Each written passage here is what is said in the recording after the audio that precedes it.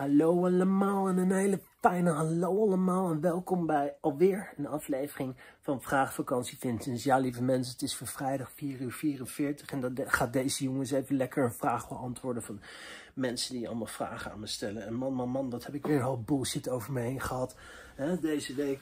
En dan denk ik bij mezelf, ja, wat, wat, wat, denk jij nou? Weet je, als, je, als jij anus, pindakaas en, en, en, en weet ik veel wat uh, hieronder gooit, dat ik dan bij mezelf denk van, goh, daar ga ik eens even een antwoord op geven. Weet je, het is een beetje hetzelfde als dat je dan over straat loopt en mensen gillen broccoli en kever. Ja, ik, ik kan daar niks mee, weet je. Wees gewoon een vent en kom naar me toe en zeg, jij Vinnie, hoe is het?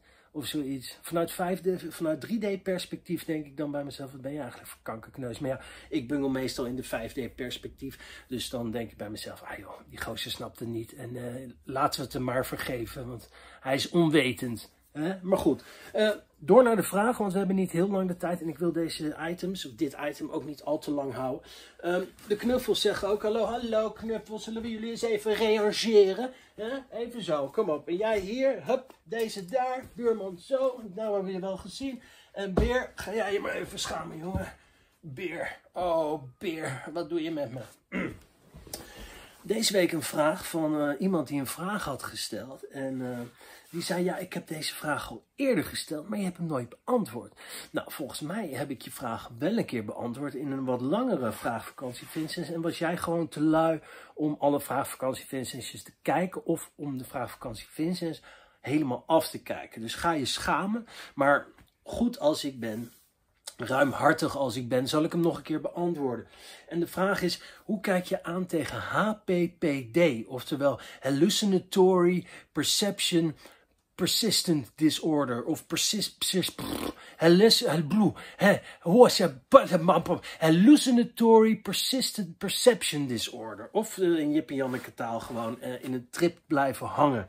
Hoe kijk ik daar tegenaan? Nou ja, ik kijk er niet tegenaan. Ik ben er niet dagelijks mee bezig of zo. Maar ik heb me er wel eens, uh, ik heb me wel eens afgevraagd hoe dat zit.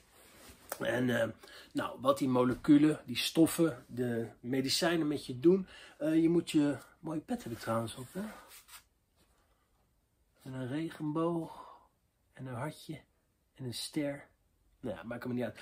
Um, je moet je brein zien als een radio-ontvanger. En hoe, hoe, hoe, hoeveel procent van ons brein gebruiken we nu? Heden ten dagen in deze zwaar gedevalueerde uh, staat waarin we nu verkeerden. Ik geloof 15%. Nou, wat, wat deze stoffen doen, uh, die wakkeren bepaalde gebieden van je hersenen aan en die zetten bepaalde gebieden van je hersenen uit. Hè? Die, we, die we doorgaans gebruiken als we in deze uh, dimension vibreren. Uh, plus daarbij, ze leggen verbindingen aan tussen de linker en de rechter, hersenhelft. En dat heb ik niet verzonnen, dat is gewoon zo. En als je daar meer over weet, dan kan je het aan paard vragen. En dan gaat paard het even googlen. En nou ja, dan, dan weet je alles wat je weten wil. in ieder geval, dat is wat die stoffen doen.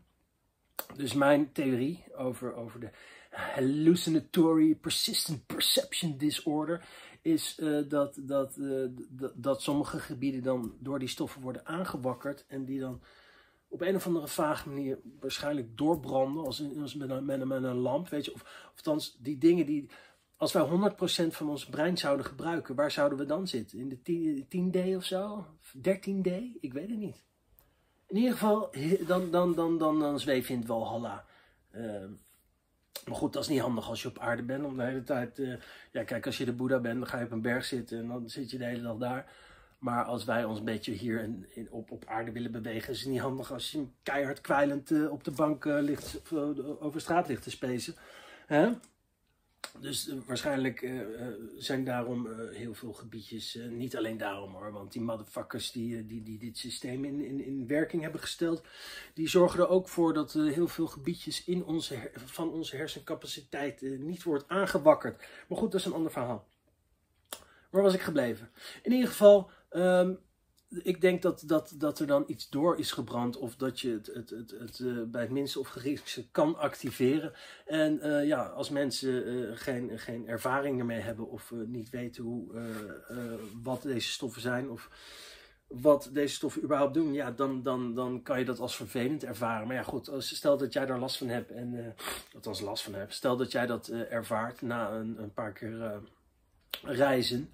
Dan kan je ook dan kan je bij jezelf denken: oh jezus, kut, ik ben aan het trippen. Of je denkt bij jezelf: oh goh, ik, ik, ik, ik, ik neem andere dingen waar. Hè? Want ze zeggen altijd: ja, als je aan het hallucineren bent, dan zie je dingen die, die er niet zijn. Maar ik zeg altijd: dingen, er zijn dingen die je normaal niet waarneemt. Hè? Want zien dingen, weet je, het is waarnemen. En waarnemen bestaat veel, uit veel meer dan horen zien en weet ik veel, die vijf zintuigen die wij dan onszelf toedichten. Jezus, wat lul ik snel. In ieder geval, uh, ik heb ook wel eens mensen die, uh, gesproken die uh, in een psychose hebben gezeten of af en toe zitten. En die beschrijven dan ongeveer precies hetzelfde wat ze dan zien. Ik zeg, wat zie je dan? Nou ja,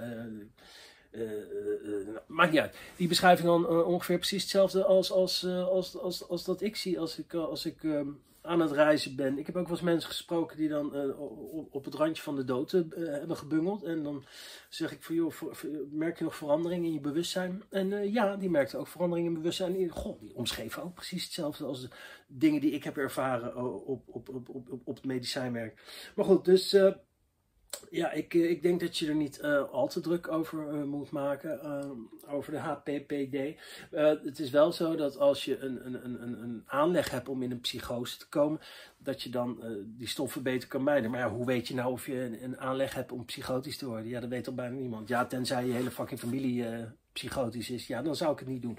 Maar goed, wees altijd voorzichtig met deze, deze stoffen, deze moleculen.